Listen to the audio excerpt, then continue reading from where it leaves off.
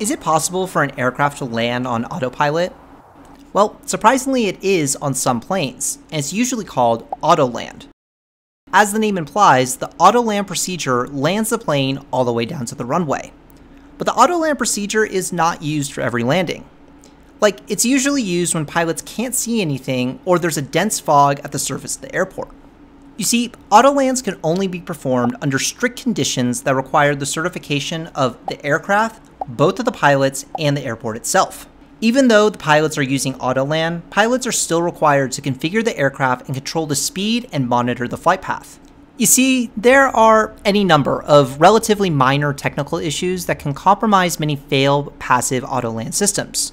So pilots do need to monitor this even when using Autoland, but the option is there to be used on some planes. Have any more questions about aircraft? Well, comment below and follow along to learn more.